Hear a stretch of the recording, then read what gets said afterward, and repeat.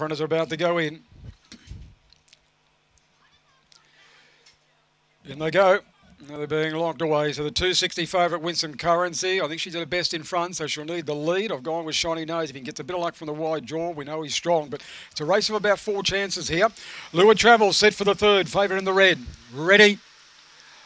Racing, Winsome Currency, step door ride, Pixel Pack missed the start, and uh, nice your way out wide on the track, some IQ coming across, Shiny Nose is trying to split the two leaders, they go into the back, four lengths away, fourth then is Mooneyong Raffles, uh, next to last is Red Soft Ethics and the tail end of Pixel Pack, the leader Winsome Curry, the top corner, Shiny Nose is about to join and race past it, two lengths away, some IQ, and a break the Mooneyong Raffles, but on the corner, and Shiny Nose took off, shot away in the straight, six clear, good go for the miners, but Shiny Nose bolted in. Second home, some IQ and a head away. Pixel Pack late for third. Fourth, maybe Mooneyong Raffles.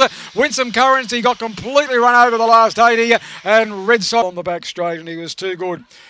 He's 250, 220 on the New South Wales Tote. And I know he's a lot better on the uh, the fixed odds. He's by headbound at a power of love. Raced by Paul White, coming from last down the back, flying along the fence for third. Trained by Amanda Brutton. Number three, Mooneyong Raffles fourth. Six, seven, two, three. Six and three quarters by a head with the margins.